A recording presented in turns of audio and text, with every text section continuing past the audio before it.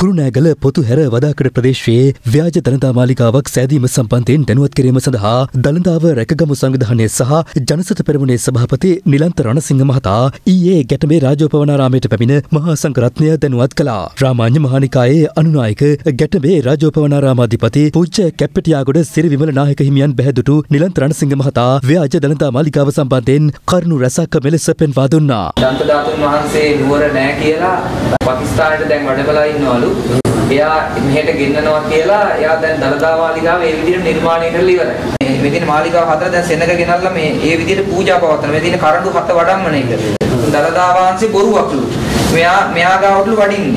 ඉතින් මේ සියලු සාක්ෂිත් එක්ක තියනලා මේ මේ වැඩේ කිසිම කෙනෙක් විමර්ශනය කරන්නේ නැහැ අපේ නායකයා. විහාරාධිපති හිමියන්ට කරුණු පැහැදිලි කරමින් සිටින අතරතුර නිලන්ත රණසිංහ මහතාට තර්ජනාත්මක දුරකථන ඇමතුමක්ද ලැබුණා. ඔව් කවුද මේ? ඔව්. කියන මාව මරනවාද?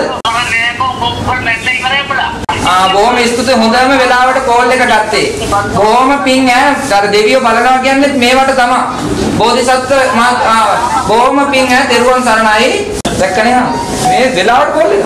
දැන් මම සිදුවීම හොඳයි උනේ ඒක ඔබ වහන්සේ ඉදිරිපිටම දැන් සාක්ෂියක් තියෙනවා මාධ්‍යයේ ඉන්නවා. මේ මට තර්ජනය කරන්න විදිහ. ඉතින් මේ සම්බන්ධව ඉතින් ක්‍රියා කරයි කියලා විශ්වාස කරනවා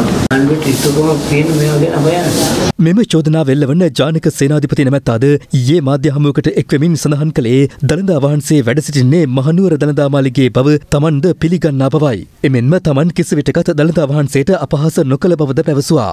ව්‍යාජ දළදා මාලිගාවක් නිර්මාණය කරලා දන්ත ධාතුන් වහන්සේ සෙංකඩගල පුරවරයෙන් මේ ස්ථානයට වඩම්මන්නට සූදානම් වන බව නොයකුත් මිත්‍යා මතධාරීන් විසින් කියලා තිබෙන. මෙතන පැහැදිලිම තිබෙන්නේ සී ගෞතම බුද්ධ මන්දිරයක්. දළදා හාමුදුරුව වැඩඉන්නේ සෙංකඩගල. එනිසා කිසිම අවස්ථාවක මම දළදා හාමුදුරුවන්ට අපහාස වන ආකාරයට ප්‍රකාශයක් නිකුත් කරලා නැහැ. දළදා හාමුදුරුවෝ මේ අහුගොඩ පොතු හැරට වඩිනවා කියලා කිසිම විදියකින් සඳහනක් කරලා නැහැ. මේ අතර මෙම චෝදනාව සම්බන්ධයෙන් ජනාධිපති රනිල් වික්‍රමසිංහ මහතා විමර්ශනයක් ආරම්භ කරනු ලෙස අපරාධ පරීක්ෂණ දෙපාර්තමේන්තුව දුන් උපදෙස් අනුව තවදුරටත් පරීක්ෂණ ක්‍රියාත්මකයි.